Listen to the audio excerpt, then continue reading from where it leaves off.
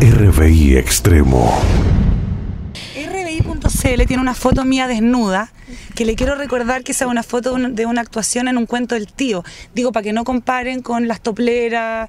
Ah, eh, sí, hay un contexto en el que yo mostré las pechugas actuando.